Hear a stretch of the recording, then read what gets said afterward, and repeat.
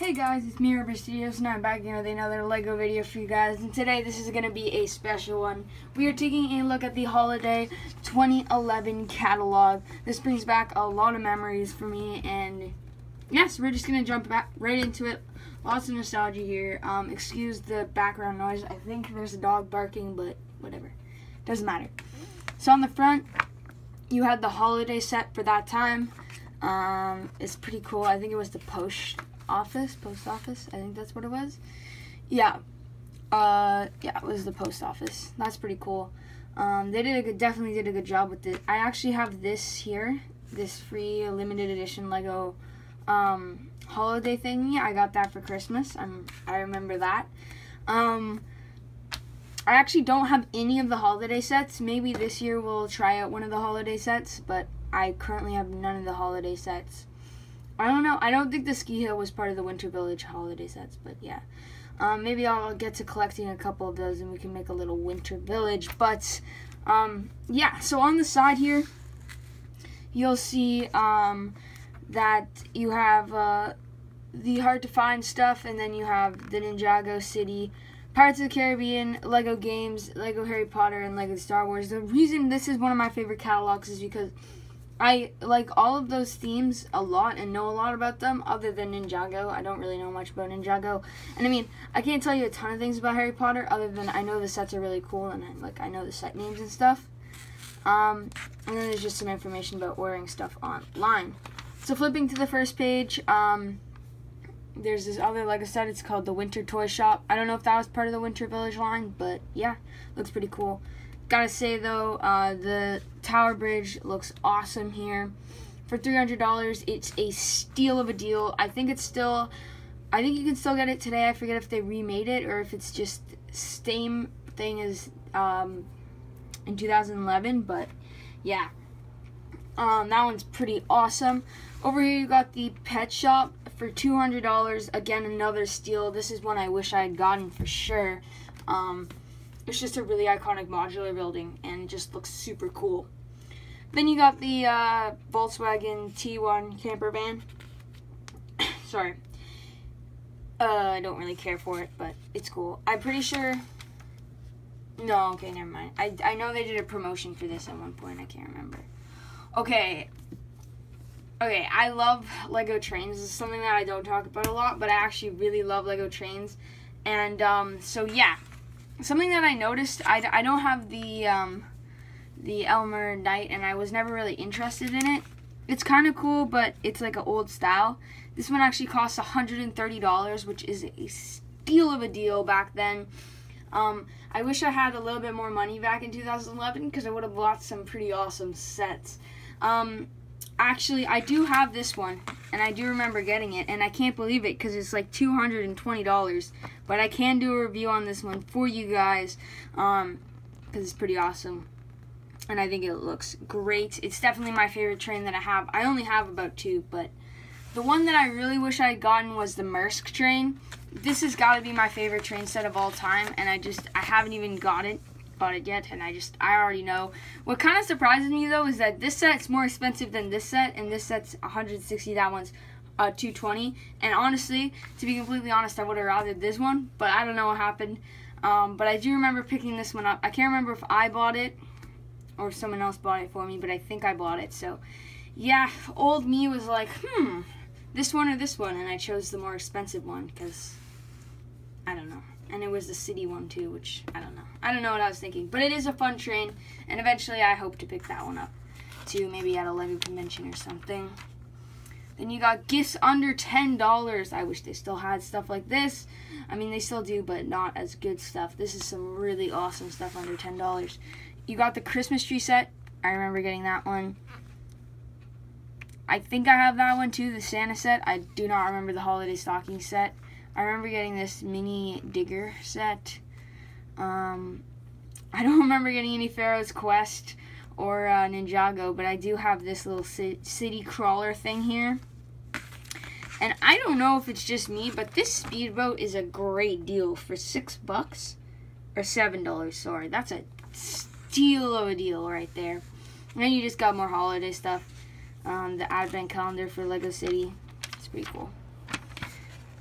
Um, top 10 must have for the holidays. I actually have these two sets, so if you want to see reviews on uh, this set and this set, you can. Uh, you got a Technic truck. That's pretty cool, actually, for $64. Um, that's a pretty good deal. Um, and then you got some other other sets. You got this Ninjago set. Don't know much about it. I do have this log cabin. Do not know what happened to it, so I can't tell you much about it. And then some architecture, Alien Conquest, a great theme, and Creator. So we jump into some Lego Ninjago. Oh, okay. I guess I can stay here for a second. I don't really know anything about it other than I did have some of these spinny thingies. Um, because I remember doing that. And I, oh, actually, I think I had this set this uh, mountain, this mountain, this set here for $24. I think I had this. Yeah, I definitely did. That's where I got the spinny thing. um, don't ask to see a review on that. I that is in a billion pieces spread across my Lego collection.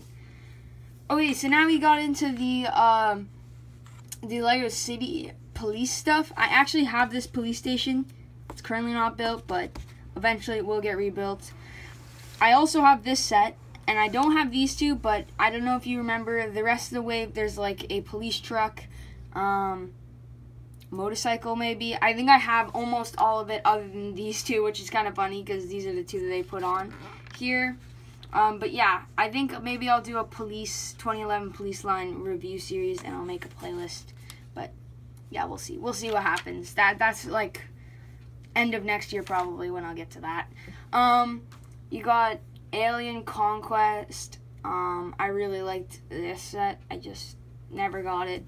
That's okay though. I mean, there's so many cool sets for Alien Conquest. Um, I did get a little car though at one point. So this is Pirates of the Caribbean, and this set is just so awesome. The Black Pearl. Um, yeah, I really wish I had picked that up. And even here, you can see you can get. Uh, this is like there's a minifigure pack um, and then you got the some other stuff, other Pirates of the Caribbean stuff. But I just wish I had picked up one of these Pirates of the Caribbean sets because they're just so cool looking. Um, especially this Black Pearl because that's the ship I remember from the movie. I just remember all the ghost guys, and that was kind of kind of scary, but you know whatever. Um, you got Harry Potter game, which I actually think is the coolest one here. Although you do have some other ones like Ninjago and stuff, but the Harry Potter one just looks so cool. And what I like the best about it is look at those minifigures. Mini minifigures, micro figures. Look at that. They're so detailed and I'm that for 2011 that's pretty good. Got some Harry Potter stuff. Diagon Alley. Really wish I had that set. I don't know why. It just it's so cool, and I know it's at the start and during the middle of Harry Potter. They even had a Harry Potter promotion, free mini Hogwarts Express. Uh, what is it? Oh, with the purchase of Diagon Alley. So if you purchase this, you got that. That's pretty cool. Um, Diagon Alley is definitely the coolest set that they had back then. They also had Hogwarts Castle, which um, yeah, that's pretty cool. And then they had like the entrance gate and the bus. I love the bus. I'm getting the new bus probably soon enough because it just looks so cool. Oh, castle. Oh, I forgot about castle. I or kingdom or whatever it's called. Oh, I, I liked it. I liked the theme. I never really got into it. I gotta say though, if I could have picked up any set, it would have been this one. This medieval market village. It's just so cool. It like I don't even know how to explain it. It just it's so cool. All the detail that they have in there. It's just amazing. The castle's pretty cool too, but uh, for five dollars more to get those really nicely detailed buildings is definitely worth it.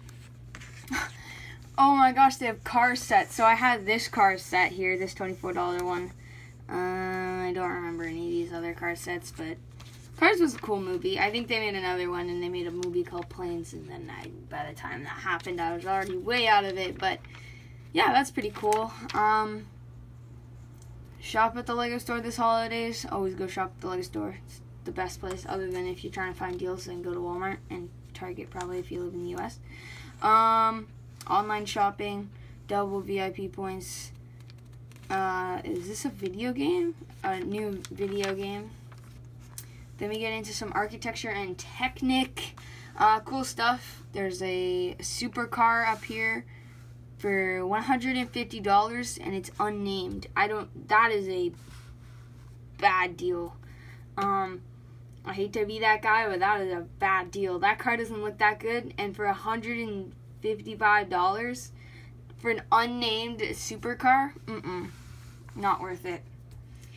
Um, you got uh, the oh, you have the they made the Burj Khalifa. That's so cool. Oh, that's cool. Yeah, I kind of wish I picked that one up. Thirty bucks. That's a pretty good deal too. I like the I liked when the architecture sets were small and cheap. Now they're making them bigger, and it's like $150 for a big one, and it's like, oh my god. But yeah, um, this is cool, this truck here, but um, it's like a Mercedes Benz, but that like, and that's why I think it's worth $250 because it's actually a named truck and it looks really cool. Although they made a better Mercedes later on. Ooh, we're about to get into Star Wars. Before we get into Star Wars, Oh, we had build your own robot, Mindstorms NX, NXT uh, 2.0. Oh my goodness. Wow. Um, I can't even imagine. So, yeah, that's all I have to say about that. Um, this is the Galactic Holiday Gifts, Lego Star Wars. These, this is this is actually a really cool page. I wish they had this on a lot more of them.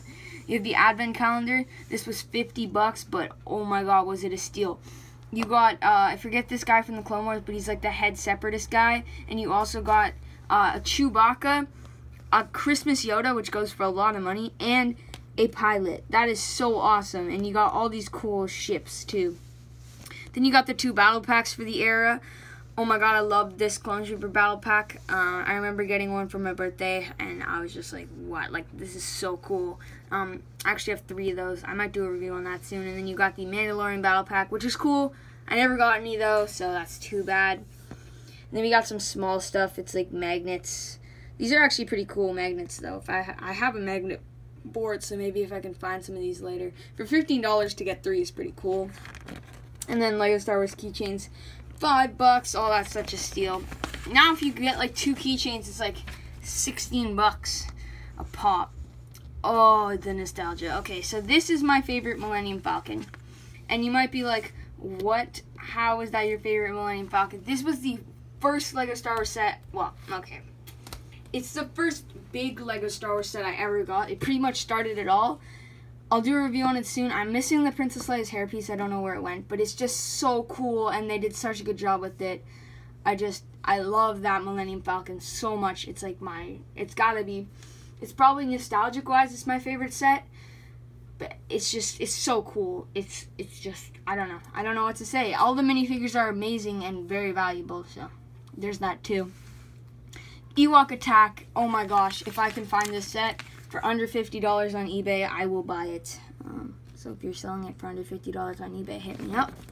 Um, then you got this Anakin's Pod Racer set. I actually do have this set. Um, I was thinking about reviewing it until they made the new one, and then I reviewed the Anakin Pod Racer anyways. So I just display it, um, but I might just even break down the Anakin. Yeah, so the Pod Racers was cool, but um, now that they made the new one, I actually like when they're a little bit smaller. I think it fits on the shelf better, and they just they made them so big, and I feel like they upcharged a little bit there. You got the Hoth Echo Base Battle. This was a really cool one for again $120. That's a pretty good deal, I gotta say. Uh, the R3PO, this minifigure right here, is such a great deal for him. You got two stormtroopers back in the day. That was awesome.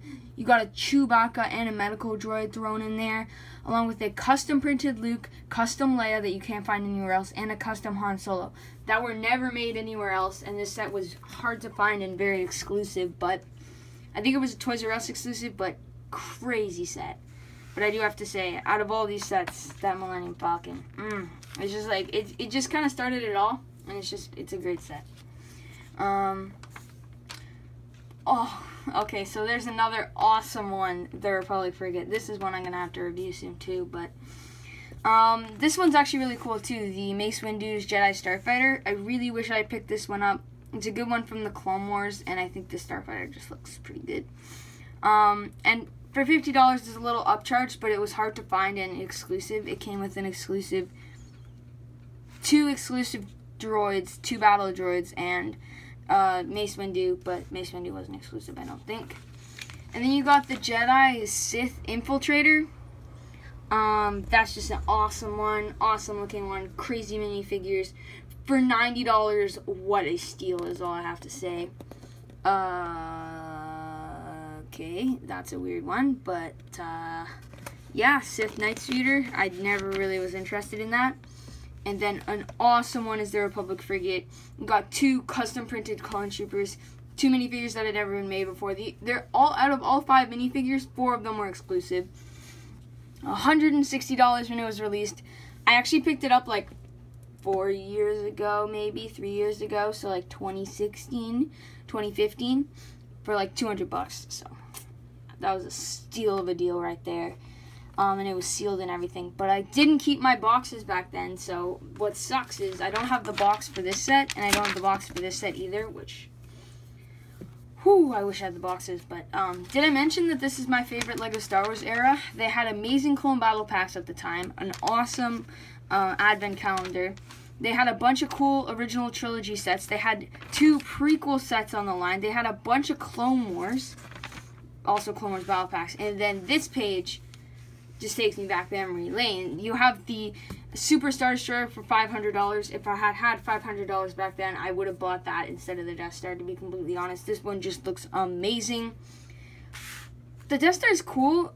I feel like I never really completely... I like it, but it's not that great. Um, I know a lot of people will be like, what? But I don't think, I don't think, like, the new one's nicer, but they just upcharged it more, so I don't know. But what's crazy is the Millennium Falcon with taxes is like a thousand dollars in Canada, and you could get these two for a thousand dollars together, which is kind of crazy when you think about it. Um, so yeah, the Superstar Store is definitely one of my favorites. But then up here, you've got two of my just sets that I dreamed about owning. Oh my god, that was three hundred and ten dollars. Oh my god, if this was out now, if I if I was if this was 2011 and I had what I would like the kind of not money that I have now, but like I I don't know. I've saved more. I've saved a little bit more money now. I could have been able to get this set. It's so cool. It comes with so many awesome mini figures. And then for $350, the AT-OT dropship. Please remake this set, Lego, but awesome. Both those sets, if I could have them, would be just crazy. Like, I'd rather get these two sets over the Star Destroyer and the Death Star any day. They're just amazing sets. And they didn't even give them that much real estate on this um, thing here. But yeah, this is definitely... And then also you can see the Tantive 4 down here. So I have to say this is the best era for LEGO Star Wars. You had two huge UCS sets on the line. You had this awesome shuttle from original trilogy. You had the AT-OT dropship awesome Clone Wars set. You had this Tantive 4 that was out at the time. You had the frigate. You had all these awesome sets. The Millennium Falcon and a bunch of battle packs. So yeah, I, I just have to say that was one of the best times. And then on the back you've got the uh, T1 camper van again. But yeah, that was a trip down memory lane. The Holiday 2011 catalogs. I hope you enjoyed. Please make sure to like, comment, and subscribe. And this has been it for this has been it, and I'll see you next time. Bye guys.